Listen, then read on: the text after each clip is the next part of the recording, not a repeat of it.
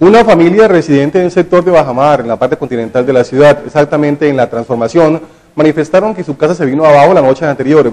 Ellos han asegurado que eso es producto de las mareas altas que se han reportado y están llamando por la solidaridad y la ayuda.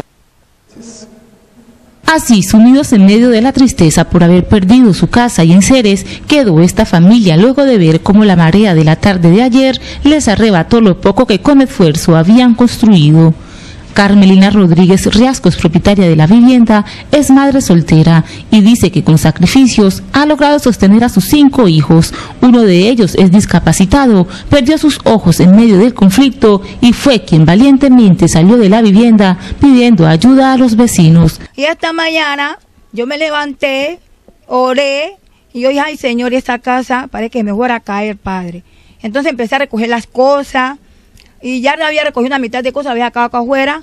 Cuando al rato me dije el ciego, que también estaba acá afuera, y John, salga. Y me dice, Carmelina, la, casa está como trasteando, me va a caer, y verdad. Y yo que me salgo y cuando en el momento la casa se vino abajo. Con lágrimas, esta mujer agradece a Dios porque, aunque perdió su vivienda, sus hijos están con vida. Gracias a Dios, pues no ocurrió en horas de la noche y, que usted y sus hijos están bien. Sí, gracias a Dios estamos bien porque yo lo que hoy, gracias a Dios que, que Dios permitió que amaneciera y que cuando ya fuera del, de día, que la casa se cayó. doy gracias a Dios por eso, porque pues, el Señor es grande y poderoso. Ahora pide la ayuda por parte de la administración y de las personas de buen corazón para que su vivienda sea nuevamente construida y poder vivir con sus hijos.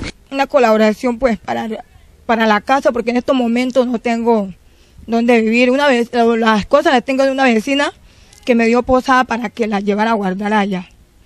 Pues sin embargo ahora no sé dónde vaya a dormir porque pues mi hijo que está estudiando también es difícil pues en estos momentos para el estudio, el ciego también que no sé dónde, dónde, vamos a, dónde va a vivir. El incidente se registró la noche anterior en la zona de Bajamar del barrio La Transformación, donde hoy una familia espera la solidaridad de los interesados en ayudarlos.